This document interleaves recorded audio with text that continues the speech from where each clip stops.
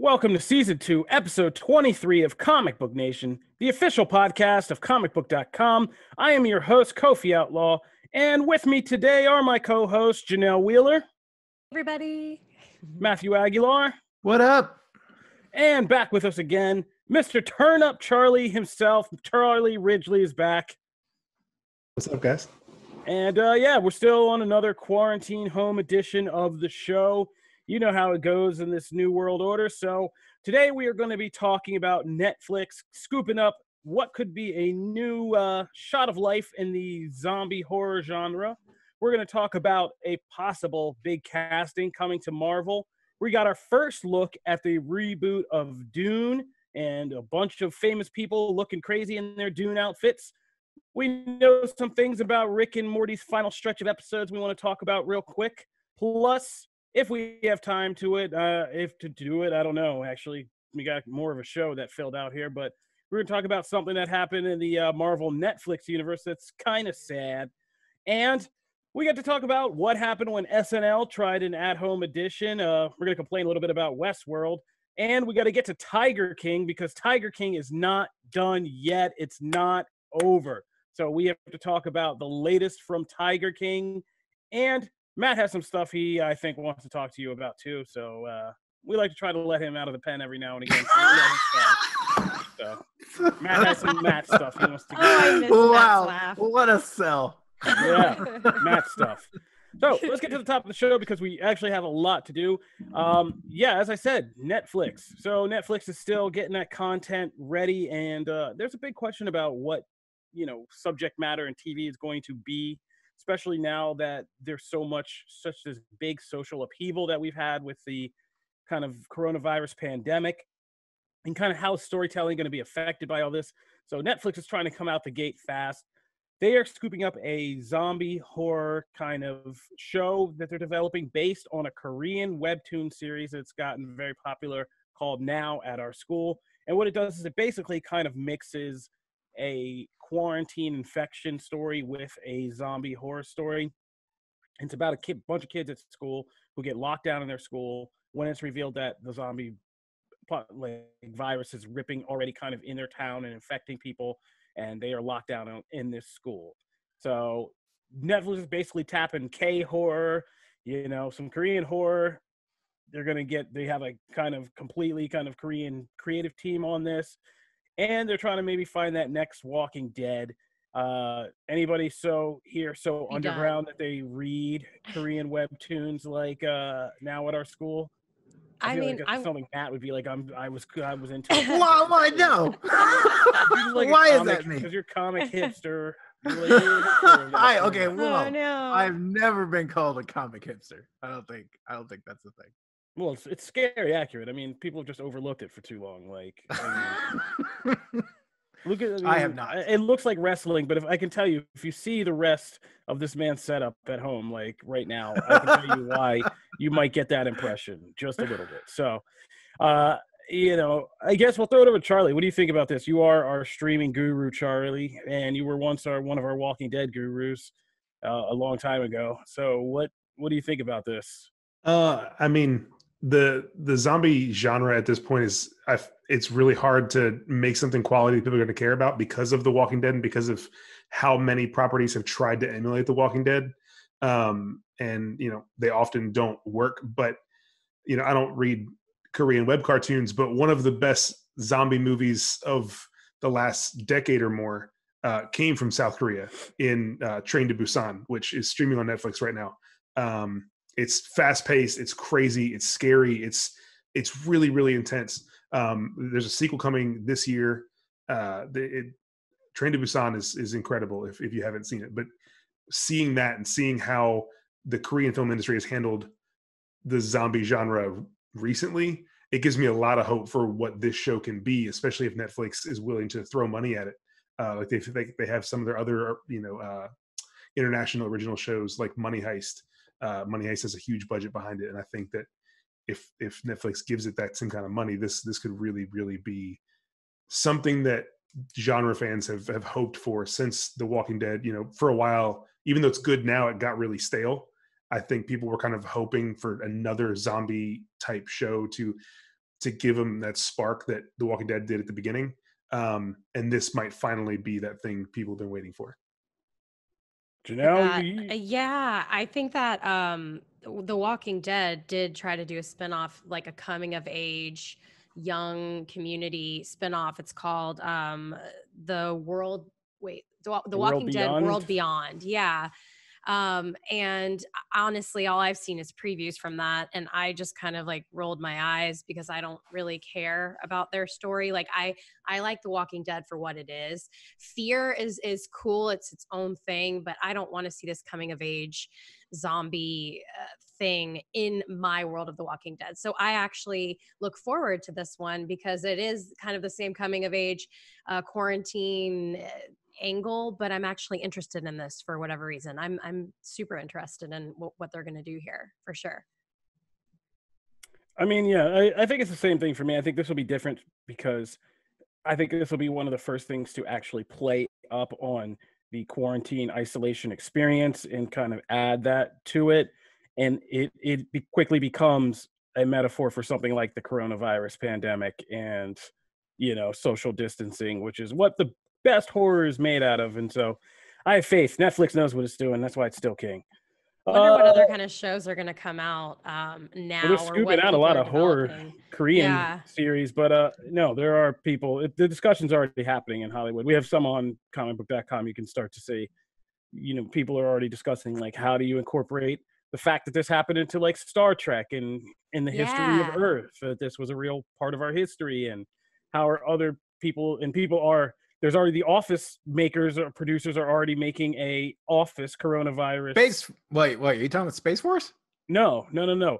The makers of The Office are have already started developing a workplace comedy based on like Oh the new my reality of the lord. corona v- virus and like No way. Zoom. Yeah, guys, don't read comicbook.com. Wow. It- it's Yeah. basically a whole show of that like Yeah. that Zoom sketch on SNL, but Yeah, you know, exactly. as a whole And- series. Great. kind of like running a business in, in the post kind of in the coronavirus reality kind of you know in that whole thing and how to maintain workplace relationships and, and that kind of thing. So yeah so they're already hard at work. Hollywood's not wasting any time. They're on it. Like they're, i told you they're not sleeping during these times. We all think oh there's nothing to talk about. And they now hollywood's on it. So they're gonna make money off this coronavirus once we all hopefully survive.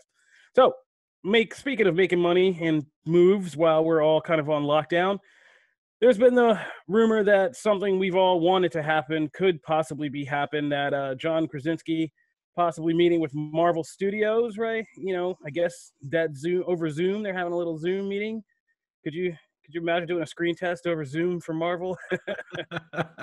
You'd be like, yeah, Zoom getting hacked it'd in be the like middle my life is great, casting? FML. like-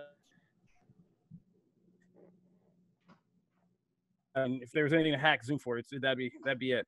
But uh, there's rumors that he's meeting with Marvel, and of course, fans, you know, are freaking out because they've wanted John. I mean, they've basically decided that John Krasinski is going to be Reed Richards in the MCU, even though we don't have any kind of confirmation that's ever going to be a thing. Like that's what they want. So this is like what it's what it what it is. So now people are kind of freaking out. So Geeks Worldwide kind of reported it that uh who that the, yeah he met with Marvel Studios virtually um because Marvel Studios the train ain't stopping like I said so they're still at it um and we don't know what it would be but I mean he's expressed that he would love to do it he'd love to join the MCU he basically said I like money um and so yeah is there anybody else in I know Jim Viscardi he isn't here but he wanted to throw grenades from the sideline. Like we're in the freaking modern warfare battle zone gulag and he's got a fistful of rocks and like So he doesn't he doesn't like this casting idea? he or- according to jim now uh, jim says things in ways that that sound like their general opinion but they're really just jim opinion. Um and so he said that like he basically would love he doesn't think that's the best thing for john krasinski to play. Uh and i was just like really? They, they literally started drawing books to look like this guy. Well, I guess that's my my biggest thing is, and we'll get to Jim's uh little mini grenade. Yeah in in a minute. Uh like my biggest thing is like aside from since samuel l. Jackson has there been a character you know, like a comic character that people have been like, no, he is like it's a foregone conclusion that this will happen. That if there's ever a movie made, this will happen because like that's what happened with Nick Fury, but that's because an artist started drawing them as them and then got sued in the comics, like way before movies, right? So in this case, like, is that has there really been another character like that? Like John Krasinski, I agree with you, has been just like it's de facto he is. Like everyone assumes there's so much fan art of Krasinski as Mr. Fantastic, it's ridiculous. There's also fan art of Emily Blunt as Sue, but like that hasn't taken over as much. I think because she's turned down two that. different roles in the MCU, so people are like, she'll be choosy because she's Emily Blunt. Yeah. Uh, True, but like, true. I, I haven't seen that level of like now. I feel bad for whoever it ends up being because like I don't know if Krasinski will do it, but whoever if it ends up being somebody else, I actually feel bad for them because that sucks. Because like this thing has Yeah, been when people set start so drawing their high, face like John Krasinski on posters. Uh, and then they I, go, I, I "Hey, don't it's think it- I don't think there's person." been I don't think there's been a situation like that, like you're talking about. But the the only thing I can kind of relate it to, the only I mean, fans are so divided about everything. The only thing that has been so universally like we all want this one thing, it was J. Jonah Jameson in the MCU. That was the one thing. Like if, if you bring back, you know, J. Jonah Jameson, it has to be J.K. Simmons. Like that's the only thing we accept. Like everyone universally kind of agreed on that. Yeah. And when it happened, there was no complaints of like Marvel just listening to fans. Everyone's like, that was a good idea. And we all knew it. We're glad you did it. And I think that I can see the same thing with Krasinski, where it's like there's a lot of fan stuff all over the place that's never going to come to fruition, that they're never going to listen to. The Krasinski thing, I think, is one of those. I don't necessarily think they listen to fans, but fans are talking about, it and they're not going to they're not going to shy away from it because of fan conversation. It's like, no, this is a he's a great fit for the character. I think. Um, I mean, let's remember he already has a relationship with Marvel. He was yeah. Yeah. he had a was gonna say. contract ready to sign for Dude, Captain America. I was on that beat. I I knew him and the dude who played Bullseye in Daredevil. Uh, is one of his best friends. Is somebody I grew up with, and I had like my phone was just on a desk, and I was just sitting there with like two articles, like here we go, like here we go, like which one am I That's pushing, awesome. Krasinski or or Oh uh, Wilson. Bethel, like or Bethel, whatever his name is, and like I had the images, like we had it ready because it was so close. This Captain America thing went on for so long, and we were like covering this and had all these people. We had like, people under desks at Marvel, like, who are you picking? And like they didn't even know. I, might be And wrong, but like, wasn't it Chris they, Evans? And then like Didn't they pick Rob Chris Evans at first, and then he he said no, It, it was a and then they went on the in- search. Yes. See, it went. It, I at this point I don't remember the detail because it was Evans, then it wasn't. Krasinski had it for like a minute, and it, and it was, and it was like a do sure thing. that, Yeah. And like we were almost hit that, and I think we had to pull that article. Like it got, it was crazy. Oh, yeah. jeez, man. And then they Now- finally were like Evan, Chris Evans, and like yeah, man, that was nuts. And like, okay, so I don't agree with Jim's thing of like, is there a better character? Like, maybe, maybe I got. There's so many characters like in. Cardiac. Yes, I mean cardiac. Yes, I okay. As someone who cannot stand Mr. Fantastic, like he's a complete jerk off. I hate him. I hate that. character. wow, I hate that character so much. So because of that, Krasinski's too likable. I like John Krasinski and stuff. I and he's going to make you like Mr. Fantastic. he might. He might. But like Mr. Fantastic has been continuously shown to be a jerk, kind of a bad dad, kind of a crap husband. Well, see, that, that's what I like so much about the about the the current Fantastic Four book, um, is that he has to deal with those things. Like, But he's he- always dealing with them because Right, he's but I mean, like, always it- it- they're- terrible. They're, told to his face, like, so, like his Sue is like, dude, dude, like, chill out. but I think Um, that's the thing Krasinski can do is like Krasinski can be like an aloof genius, but like still likable and like enough of a puppy that you'd be like, yeah, I can see why Sue. Sue Here's would here's my other thing. I think guy. that Krasinski can fill a role in the MCU that Evans has filled for this long, and he can be that kind of like, um, that that moral compass to the heroes in the franchise. You know, where you had Captain America and and all his values, and then you had Tony kind of being the wild card. I think that while Mr. Fantastic is different than Captain America, doesn't share those exact same values. The kind of the kind of read that I see Krasinski playing would be one that can kind of someone that holds the team together and kind of says, "Hey, like we we have to do the right thing here and and keep pushing people towards the right direction." I yeah, agree. it's a quiet you. place thing. Like he'll he'll maybe be a bad dad in the beginning, but at the at the end he'll be like heroic dad. I agree Like, with you that it, that is the version he would probably play. That's not really the character in the Well- books. and like Tony Stark, like look, Tony Stark was also a jerk, a giant jerk in the in the comics, and Robert Downey Jr. made him likable enough, even though really like Robert Downey Jr.'s Iron Man is also kind of a jerk, like compared to Evans Cap. Like he's there's a dynamic. I for and- I for me need that. Like I don't necessarily want Mr. Fantastic being a moral compass. Like that's not really what he does. He's the aloof. I think in science, I think in ideas. It doesn't exist if it's not based in fact. And he has a Like- soft god complex. Like, Well, but like- there- yeah, there's like, no- we we can have this whole cap. conversation. We can have this whole conversation about Spider-Man, and that's not the Spider-Man we, we're getting in the MCU. So Yeah, true. But I just know. think like I want somebody else to be the moral compass to Mr. Fantastic's Tony Stark. Like I you need another yeah, I mean, I want Sue to be like the person who grounds and like is the moral Yeah. compass of the family. Um, I also think it has to be a little different because I, I would want to see them do something like the Maker, and I would like to see Oh, John yes. Krasinski be able to do like both. Have so you would have to make the the normal route uh, Reed a little softer, so because That's he would true. have this kind of dark twin version of himself, and I would love to see Krasinski play that. Like, Yeah, he's a uh, great actor. like, I uh, think oh, I just it's cursed. Oh my god, like a messed up version of Jim, like just an evil Jim, like prankster type, like the one who's like babysitting Venom's kid, and it's just like, yes, everything's fine, and like you know, Venom's kid's Yeah. constantly dead, you know, like that kind of. Maker's awesome. I Yeah. I do love So- that idea. So yes, if that's the case, I agree. do a softer Mr. Fantastic if I also get Maker, which is cool. Yeah. Yes. I like So that. I mean, that's all. We can't spend too much time on this because we got to find out if this thing is even happening. So we're gonna move right along to something that is definitely happening, which is our first look at Dune. So I know all of you are such big Dune fans, so I thought I'd pull this up uh, to get your Dune fix. Uh, but Dune's coming back, and it's coming from uh, Denis Villeneuve. Villeneuve, I can never say his Denis Villeneuve. villain. Yeah, say that again, Charlie. I think I, th- I think the first name is Denis, and it's Villeneuve. No, yes, Denis. I know Denis, but like I could never say his name.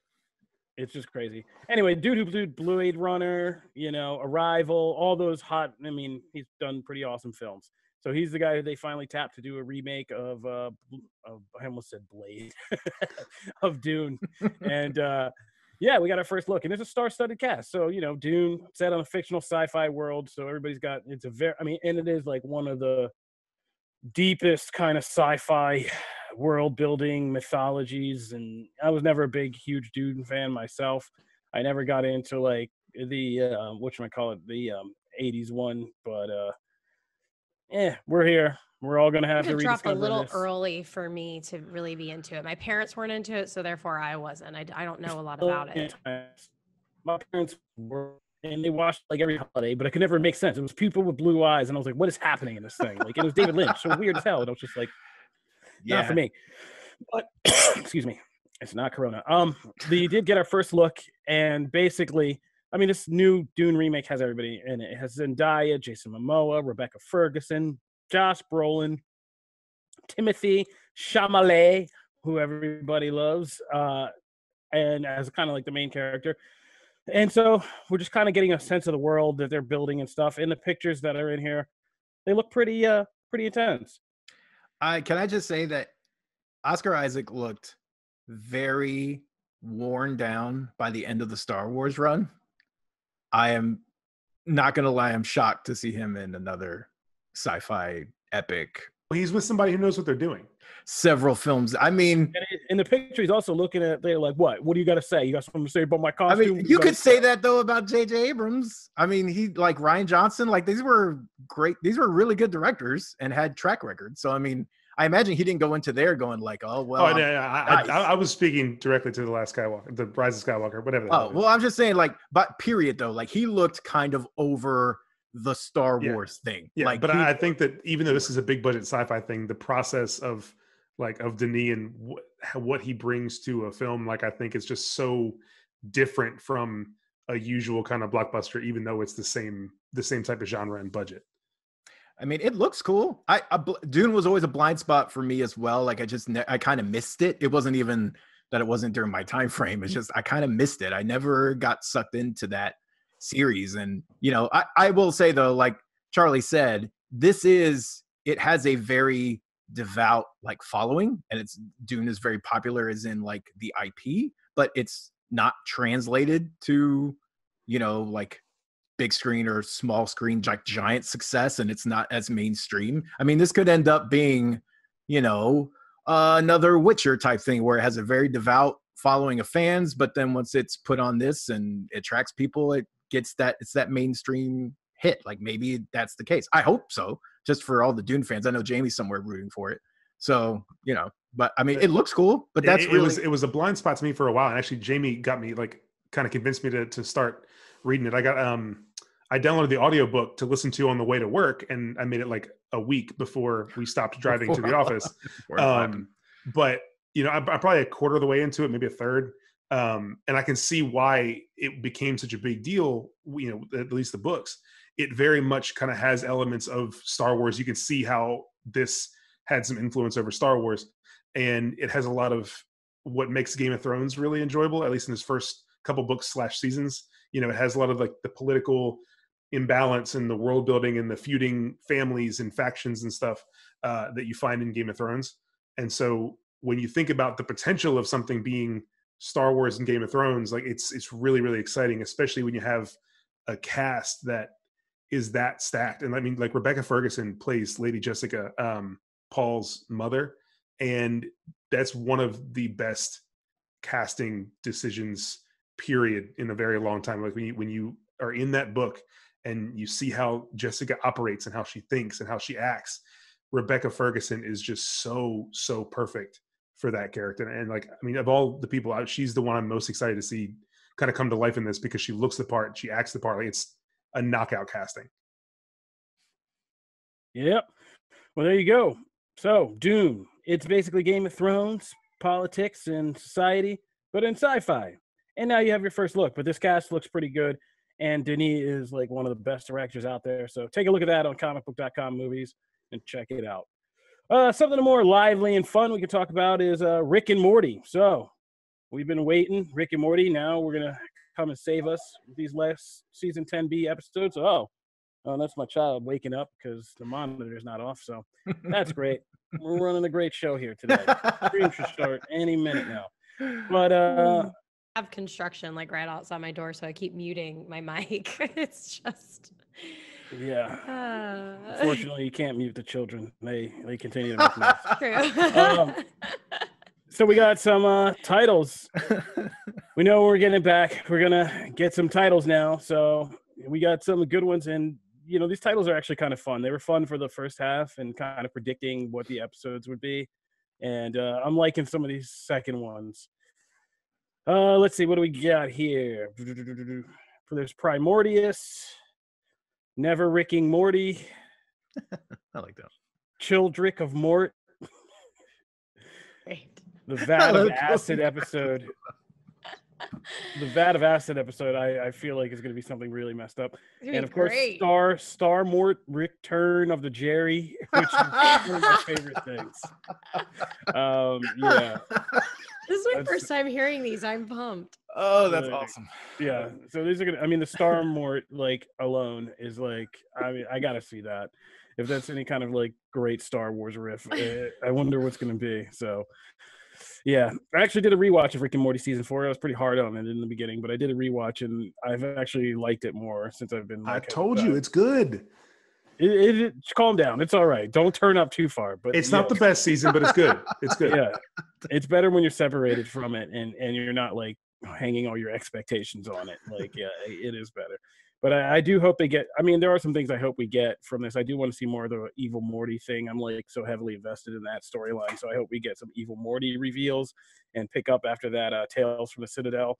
Um, yeah, God, It's it's very much so. I'm watching there's one with the acid again. vat. It's freaking me out. Like It's well, that, that's going to be a. It's either going to be a joke about the Joker. It's going to have a bad ass, and that's going to be it, or it's going to be completely dedicated to like a storyline like the Joker. Um, Boy, or it's gonna be like a vat of acid, like the drug. It'll what if this is the crazy. creation of Evil Morty? Oh. What if That'd they be- give Evil Morty like a Joker origin story, and this is how Oh Evil my Morty is created? He That'd gets he gets acid in his eye That and gets be the eye patch, Oh my gosh. Brilliant. That'd be crazy. I, I mean, mean, I can- it's I totally see a it. Rick and Morty thing. It'd be like a whole episode thing, and then like the very end, some acid splashes in his eye or something. That'd be like, that'd be a totally Rick and Morty thing to do. So we'll see. But uh, yeah, looking forward to that. I can't. I mean, I at this point, I really need Rick and Morty back for uh, it just to kind of keep our sanity going. So looking forward to that. Getting the last half of that season. Uh, so those are the episodes. You can look them up on comicbook.com TV. Uh, what are we at? What are we at? What does Richard say we are at for uh, time? 25 minutes in? Oof, that's late. Oh, man. So I don't know if we can't get into this whole Marvel Netflix thing. It's kind of sad. it's a long debate, but uh, we'll let you think. Poor uh, Deborah Ann Woll is having a hard time after her starring role as Karen Page on Daredevil, and uh, she's a little down. And so we were going to ask if if Marvel Netflix has possibly broken some of these people with their weird career trajectories. But uh, quick around the room, do you think that uh, the ending they kind of killed the Marvel Netflix franchise too fast, hurt these people's careers? Matt, I mean, did did they kill it too fast? Yes, obvi- like I feel like that's obvious because it wasn't supposed to be the end. They were they were some shows were doing quite well. Um, as far as hurt their careers, I mean, yes, from a from a from a personal standpoint, absolutely. I mean, if you have a hit role in a show for three seasons and you're riding a high, and then someone just goes, nope, and it has nothing to do with you it has absolutely nothing to do with like your performance or anything else. It's strictly business, which is what that was. I mean, like yes and no because I know that's like part of the industry. That's that's something that's not just inherent to Marvel TV shows. Like that stuff happens all the time, especially in Hollywood. So, I mean, like it's weird. Like I yes and no. I'm not going to say Netflix killed her career or Charlie Cox's career or anything like that, but did it hurt? Like absolutely, you know. I mean, it, hurt, it hurts to lose a job, It- it- but at the same time, especially one that you're passionate about. But like, I, you can't. You know, it's not Netflix or Marvel's fault that she did, is, hasn't gotten work since. I mean, look, Jessica Henwick has been working. Um, uh, Jon Bernthal Simone obviously Missick. has. Simone Missick has a whole new series on CBS. Like, you gotta uh, go to and, and, and Wilson dog. Wilson Bethel Wilson, Wilson Bethel's in that show with her too, and um, you know Vincent D'Onofrio has done a bunch of stuff. Uh, he's been acting and directing. Like I don't think that she certainly didn't. She wasn't a bad performer. It wasn't like she turned in a terrible performance and everyone was like, oh no, like she was great on the show. Yeah. I don't know if maybe her agent just needs to do better, or there just haven't been the roles out there that she's been looking for. But you know, I, I don't I don't doubt Deborah Ann Woll's ability to to get work again. It's the same thing that happened with um Mena Massoud from uh Oh yeah, Aladdin. Aladdin. Yep. He hasn't worked since Aladdin. And you know, I think some actors hit that frustrating stride, you know, hit that that point where it's you're having a hard time. Um it's a little more frustrating with Aladdin because he was the star and the movie made a billion dollars and now he's got right? nothing. Yeah, But that one is um, more. That one's even more puzzling. you know, the, the ending of the Netflix Marvel franchise didn't have anything to do with, you know, Deborah Deborah Ann Woll's career and where it went from there. Janelle? Interesting. Yeah, it's just interesting that um, we're in a day and age where we actually do hear from the actors outside of their, you know, performances. So I'm sure this has happened many other times or similar things. I mean, in in the history of performance and you know acting and shows and movies i'm sure this has happened countless times uh, we're just in a time where we hear about it and it's kind of cool to be able to relate to and um, understand the struggle and the perspective um, where they're coming from. I, I appreciate it. I appreciate knowing about that. It kind of makes everything a little bit more human, especially now. I mean, we're like, for example, we're all going through this time together, um, and it is ruining a lot. Of, COVID in general is is ruining a lot of careers and um, businesses and things like that. And so, um, at, for me personally, to kind of get on a personal level with an actor, someone we kind of put on this pedestal is nice to see. I think she has so much more to give. Um, and, you know, there might be a little slump going on here and, and, it- you know, she's acknowledging that, but I think that that's part of her healing process. And we're just, you know, we're hearing about this now and she has so much more like it's, I, I definitely see her uh, coming back really strong in a different way. Yeah. All right. Well, I'm with Charlie. I mean, it is kind of a split thing. Like virtually every one of those, a lot of those actors, from everybody in like, I mean, Luke Cage is now on headlining a CBS show. Simone right, yep. Missick is now headlining a CBS show. Um, some of the people that played like uh, Jigsaw's therapist and is had a new show. She was on Supergirl too, and she or no, that was before Punisher, but she had another role after that. Like a lot of I mean, the she's, people she started a movie last year. Yeah. Oh yeah, yeah. She's in Escape Room. Yeah, exactly. Yeah, you're right. Um, pretty much. Oh, Deborah Ann Woll, you're talking about? Yeah. Sorry. Yeah, and that wasn't different- a bad. And that wasn't a bad movie. It was No, it actually was one of the better horror movies I saw last year. So, yeah, I mean, I get it. She did True Blood. I mean, she had this Marvel role for a long time. She had, to be fair, she came out of the gate with like a lot of big franchise Yes. support underneath her. So you come out of the gate that fast, I can see how it, it it can seem shocking when it slows down into like normal work struggle levels. Um, but uh, yeah, I mean, and we love her. I mean, I even she even favored a tweet tweet from uh, Daredevil season three when that whole Karen backstory thing. I like was like praising on Twitter. So she's a great actress. Just like keep at it, keep at it. Don't Yeah. Yeah. We believe Don't in let you. Marvel Netflix break you. That's my theory of We life. have your All back. right. I mean, I don't know about all that. I got to be in quarantine right now. Uh, I got stuff to do. But uh, when we come back, we're gonna deep dive into some of the things that are happening in entertainment, including Netflix's Tiger King new uh, new episode, uh, what happened when SNL launched from home, and all that Matt stuff. I promise. So stay tuned. All right. So Charlie, I brought you on today because I thought you'd be a good person to appreciate. Uh, and just quick, do kind of a visit. What'd you think of SNL at home this week? Um, so I did like I did most weeks with SNL. I didn't watch the the live episode. I watched the I kind of put the skits in a playlist and just kind of watched through them. Um, but I I think that they did about as great of a job as they possibly could have in the circumstances. Um, was it like the best episode of SNL ever? Not at all. But um, some of the skits were really fresh and fun, and they found really interesting ways to use the technology that they had. Um, you know, eh, the the talented people were still being Kate McKinnon is always awesome. Um, and she really got to highlight that in some skits. I thought the, the Ruth Bader Ginsburg, Ginsburg thing wasn't that funny, but you could tell she's having fun with it. It seemed like a hey Kate, you can just do something because you're Kate McKinnon and you can do whatever you want. um, but like she was really really funny on the Zoom call thing with Aidy Bryant, um, where they were the secretaries trying to figure out how to Yeah, how to good. use Zoom. That was really great. Um, I don't know if it was in the episode or it got cut and was just on on YouTube, but the um, the Kyle Mooney audition sketch. Whenever they let Kyle Mooney be weird like he is, it's really really funny. And he was like, it was some old 1993 audition thing where he was trying to. He was a stand-up comedian auditioning for a um, uh, for some Elmer Fudd movie, and it was just he was really Cut? sad, but he was trying to hide it. It was so funny. It got Um, cut. It wasn't. I- didn't. I mean- no, it wasn't in. I saw the Hulu replay. It wasn't in there. Kyle Okay, Mooney's yeah, I did the sketches get cut too. all the time, and it's really disappointing because Kyle Mooney's very, very funny, and he's I so love awkward. It's so great. Mm, Um, I, I don't know. Having having weathered through a lot of his like weird him and Beck Bennett skits of like them just shooting home videos, I'm like, Oh, I'm- oh, that stuff's uh, Beck. I feel like is such a different style of comedy than Kyle, and when they put are put together, they they, they kind of cancel each other out and doesn't work. Yeah.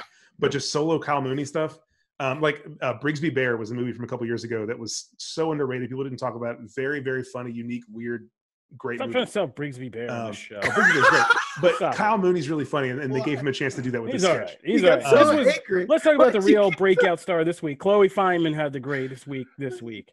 Uh, Chloe Chloe Fineman's always pretty good. Masterclass? What's that? Yeah, the Was that the- master class. Oh yeah. my gosh, that was my favorite. There you the go. whole Boom. thing. See? Chloe, So- this the was Chloe JoJo, Fineman, and she's been bubbling really quick. Like she's been coming up fast. She was great in the Bond sketch with uh, Daniel so Craig good. as like a Bond girl, but this was like her week to break out. And that master class thing where she's Carole Oh Baskin and, and uh, Timothée Chalamet. and I loved the. JoJo. You The probably don't know Chalamet was great. JoJo. Yeah. Dancing with the Stars. Like she, and that was just her at home. So sh- this was a good week for her to kind of make that play for being uh, that next Kate McKinnon. and well, and, and I mean, and Heidi Gardner has spent all season establishing herself as like the next, the next big SNL star. Um, I think all season long we've watched it's Heidi gonna happen. Gardner. It's gonna be Chloe Fineman. I mean, I think I think both of them are going to be great. I'm just saying. there's I only think room this for was one. another. There's only this is another one like showcase Highlander. This is like for- Both of them just take screen time. Heidi from Gardner. Melissa Villaseñor, and it makes me mad. Because Melissa Heidi Gardner is very funny. in And every skit she actually gets to write and shine in, and she doesn't get to do it very often. So, as Charlie's, but Kyle Mooney, that's yeah, she's she's she's just a adorable. comedy. It, She's adorable. she's when, when you have someone who's good at really really awkward comedy. I feel like SNL doesn't often know what to do with them, Yeah. and they kind of get put off to a corner. Um, and you know that's what was so big about the the previous like the, the 2000s era cast. You know when people like Kristen Wiig and Bill Hader and Adam Samberg and um, especially uh, Fred Armisen, like they took their weirdness and they they like, forced it onto stage. And Yeah. you know, I want to see that from from this cast. I think there are people that are really they're really great on there, like you know Heidi Gardner and Melissa Vill- Villaseñor and and Kyle Mooney.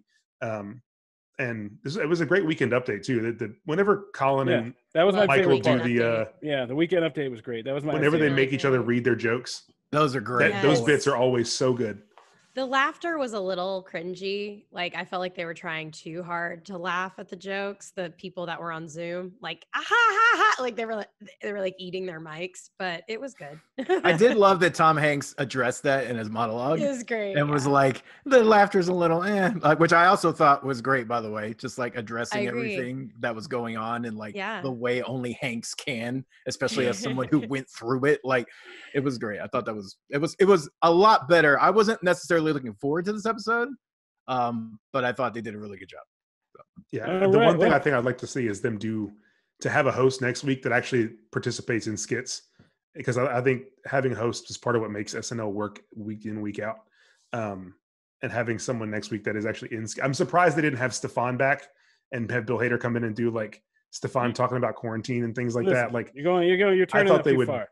We don't turn up. We don't have time for all this turn up about this. SNL. I just love that Kofi got recap so angry at Brigsby Bear. like we're not going off in into Brigsby Bearland. like, all right, let's pull it back. So, uh, Janelle, you wanted to do a quick shout out about Westworld, and um, you know, I'll do a quick one, uh, drive by on Westworld. Westworld, I mean, I think it's lost its magic. I think it kind of sucks now. Um, I'm gonna watch this this third season because it is, but them taking it out of the park and the whole kind of themes about reality and stuff, and trying to do this dystopian sci-fi thing, and they tried to throw a big action sequence in this one this week to kind of sell it, and it just it was just kind of like, eh, yeah, not really with speed chase with no driving. Yeah, it- it- I'm not really. I didn't come to Westworld for like action and things like that. So you know, yeah, it just kind felt like a joke Uh, when he got uh, drugged. Um, spoilers, by the way, lots of spoilers. When he got drugged, the the use of music was so jarring. Like random songs that we have never heard in stylings we've never heard on the show. Yeah, well, to put in context, us. Aaron Paul's character gets Yeah. drugged with this psychotropic drug that's called genre, which is basically something somebody created for TV so that you could fit multiple different movie genres into one drug effect. And so he basically switches the style of movie he's watching, quote unquote, like every so often. And so each part of the episode that he's experiencing is like a different movie genre. And it, it's pretty Soundtrack is so jarring. It's just Yeah. weird. It takes you out of it completely. I mean, like my fiance was like, "Can I please turn this off?" Just when that hit, he was like, "Can I please turn this off? This is terrible." But I was like, "No, we're pushing through. We're watching this episode." Oh, That's and there so is one weird 'cause you saving. guys seem so high on it the first couple I episodes. I mean, it was it was sound promising. I mean, it was, but it, it's just become basic. There is no twist. There is no intrigue. It's straight up just a conflict between robots and people. Um, Mhm. the one saving grace this season has been Vincent Cassel is in it, So and he's so good as this kind of like mastermind villain. And this episode had some interesting things about his backstory and flashbacks, and his character is very compelling. And I would I would watch a lot more of the season be about him, but uh, unfortunately, Same. And where's so. Maeve? yeah and like the whole thing's like yeah it's just it's just basically dolores being the terminator and yeah, I'm sick of it's kind Dolores. and it's as, She's- as good as any terminator movie has been lately so I do um, want to point out just just based on a fan vote on IMDb, last night's episode is the second highest rated of the season so far. yeah yeah well Or last uh, Sunday nights, whatever night it was. Yeah i can imagine they saw car I- chases and explosions they were like the yeah second awesome end, like uh, on the second half of the episode was good. It's just the front was so weird and hard to watch that I just it kind of messed up the whole episode for me. And that's a good segue for weird to hard to watch. Is to uh, one of our main topics is Netflix Tiger King. So Tiger King is not done yet.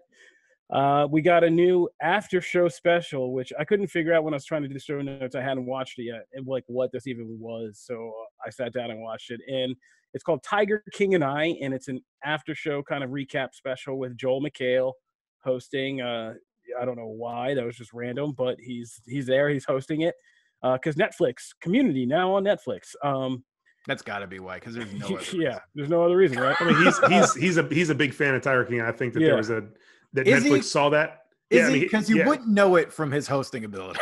No. like anyway, Well, continue, Kofi. Savage I'm just- just saying, like that. show Everything he hosts, too.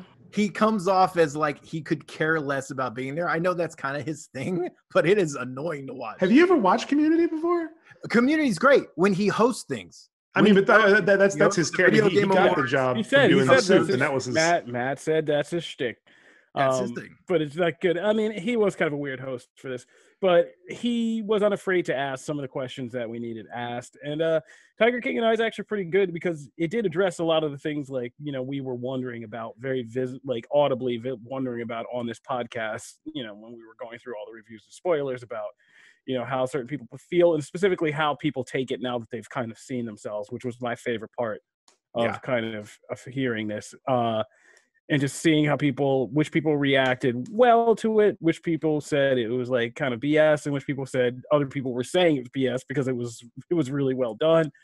Um and just getting some of the factoids out about this and yeah after seeing this i agree with our feature that nicole drum wrote up who she's been getting some flack online about this but uh we wrote up a feature called you know stop making like joey exotic like a lovable cartoon character or something like that and yeah after you start hearing the things that people are actually conf- like saying about this guy in the special like it it's it's pretty much the truth we should not be making this guy like some kind of folk hero like he's the worst i mean he's like the worst in every type of way.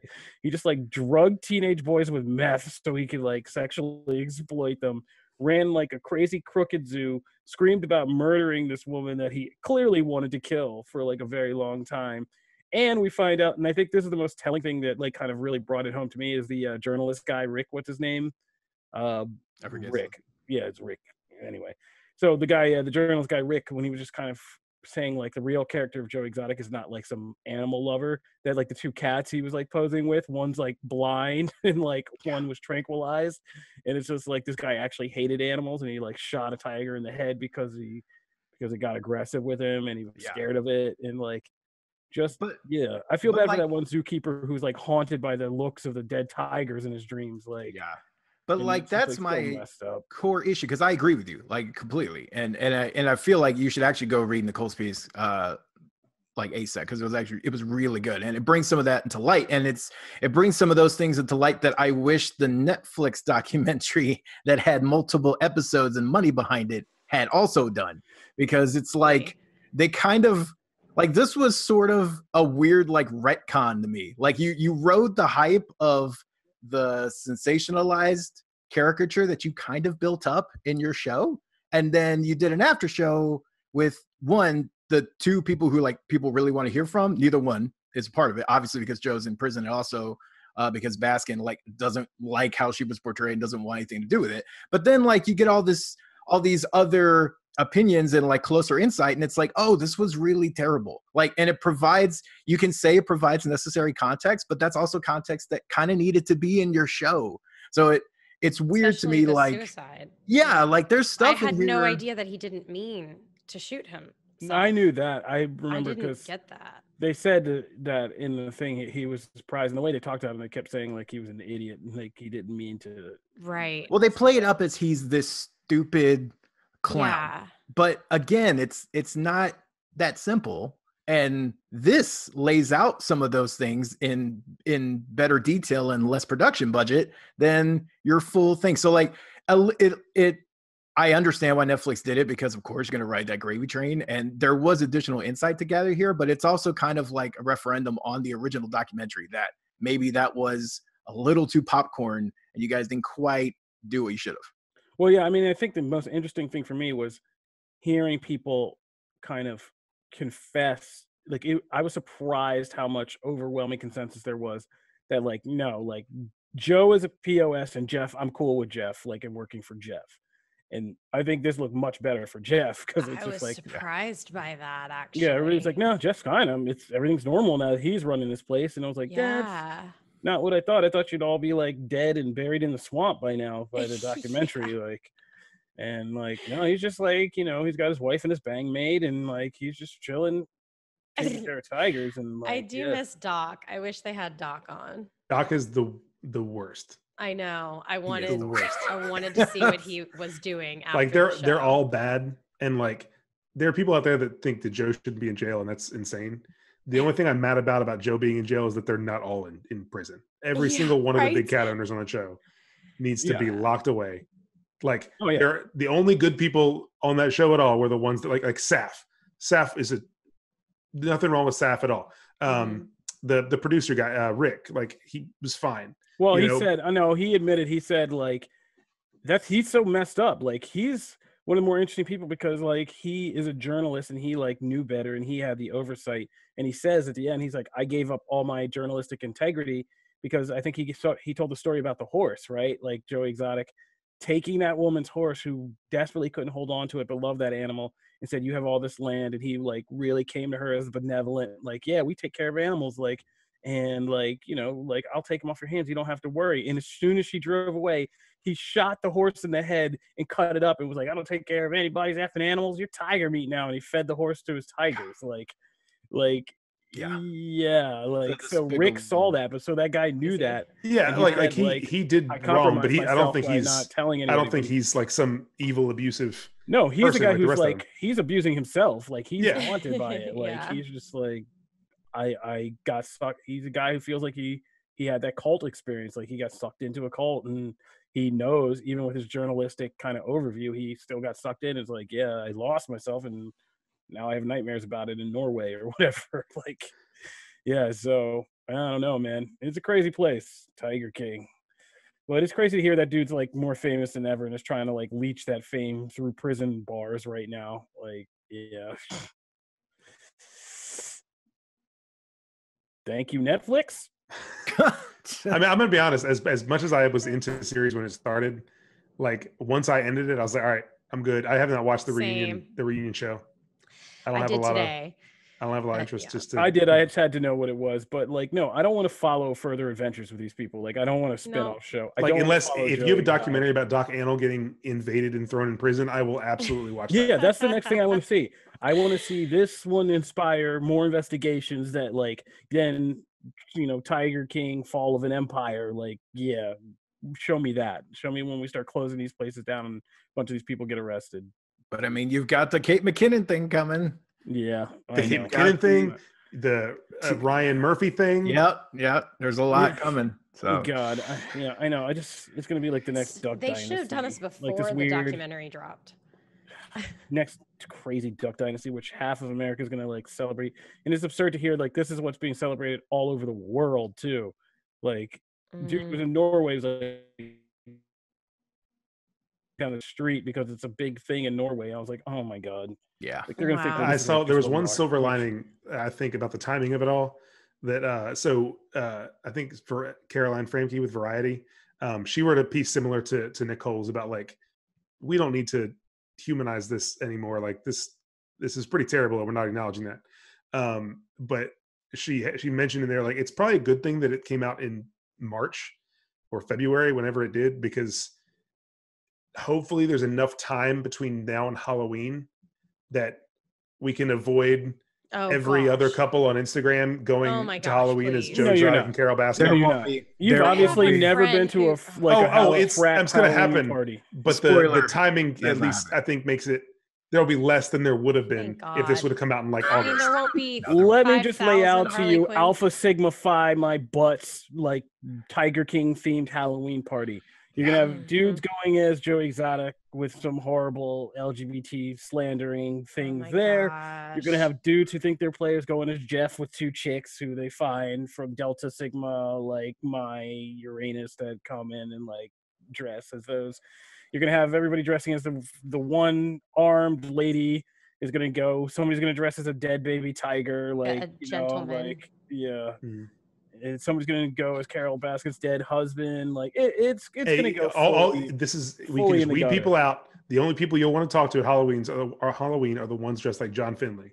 You know they're going to be you the real what? ones. and you know what? I'm so happy about this because I feel like I can go to this party and it's going to be the first time in years I'm going to go to like Alpha Sigma Uranus's party and like not have to worry about blackface at all. So like I'm super duper happy about that Oh. because there's no way it's involved in this thing. wow. and so on that note, let's talk to Matt all of Matt's Matt stuff.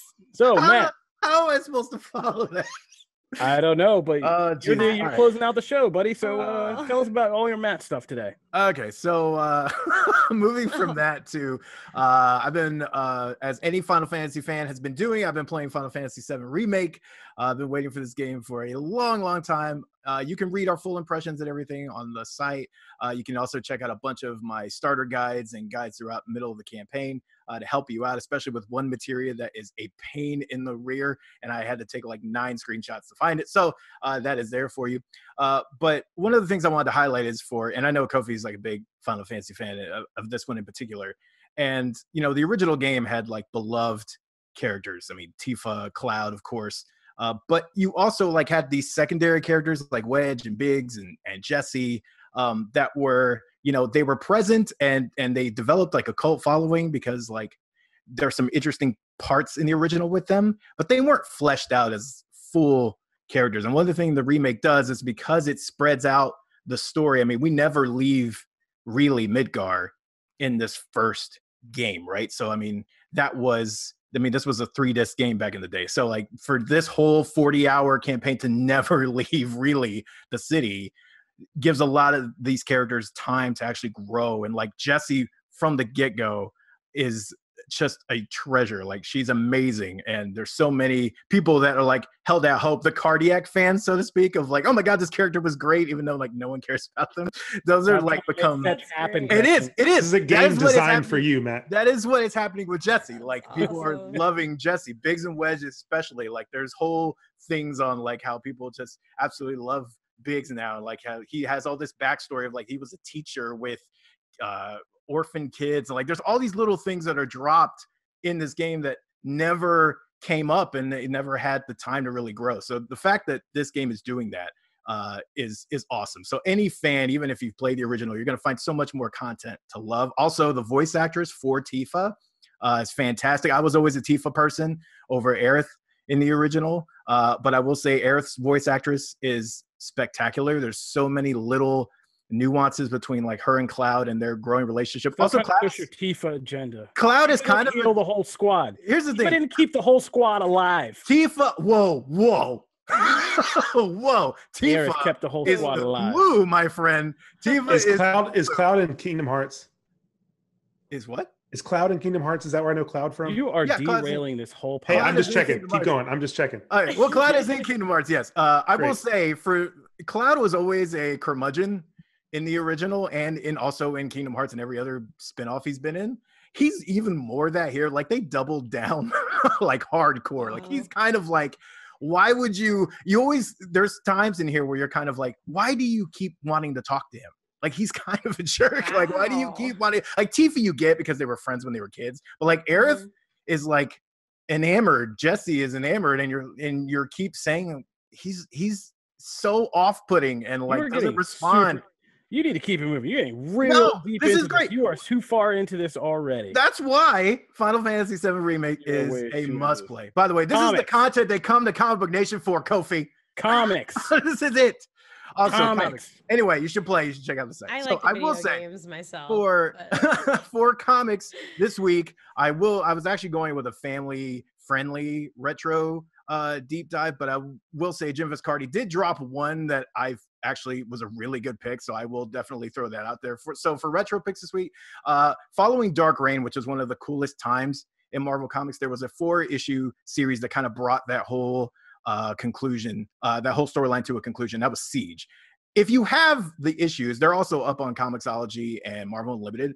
It actually does really hold up as a four issue event, uh, even though they, you know, kill one of so blessedly simple too. It was is like it's nice. It's You don't need all the tie-ins. You don't like it's very you can go without reading all the backstory. If you did though, great. And Dark Reign is worth it. But definitely check that out. And it's four issues and done. Would love to hear your thoughts on other episodes if you hear that. Uh, also, for family friendly time, uh, I will say Hex Vet uh, by Boom Studios. is a really fun book about like witches working in a in a vet clinic. Uh, it's just fun. The art's really uh, lighthearted and everything. So definitely check that out.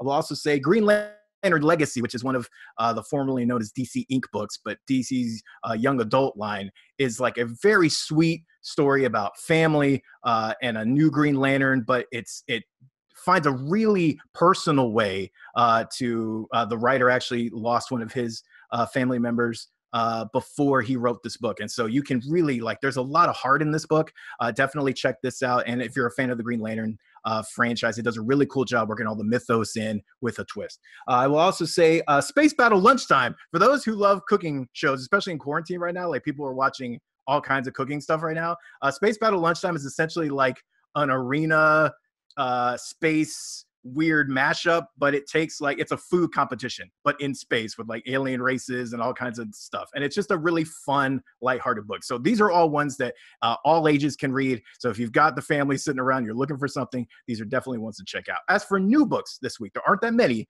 Uh, DC does have three releases coming out. We have Batman The Adventures Continue number two, which is the continuation of the animated series. We also have Teen Titans Go to Camp number eight and then we have Batman Volume 12, and I know Kofi will love this, uh, The City of Bane Part 1. So that one is out in trade uh, digitally. So if you've been, if you heard our previous podcast where we kind of dove into those Tom King uh, stories, this is the thing that really brings it all to a crazy conclusion. Uh, this is part one, so you can definitely check it out one place. So that is comics.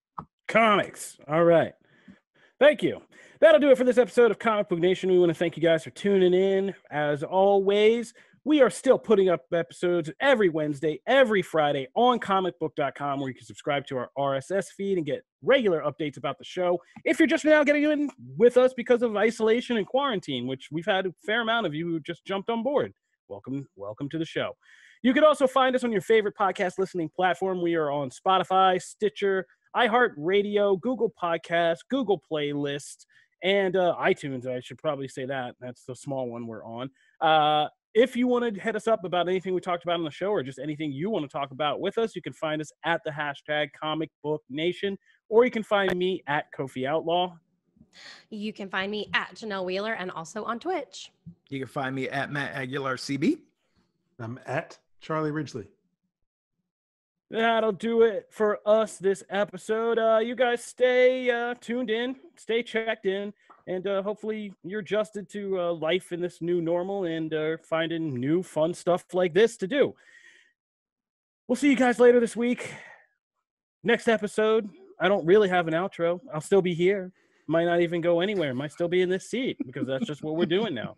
So see you all next time on uh, Comic Book Nation. We're out of here. Peace. Deuces.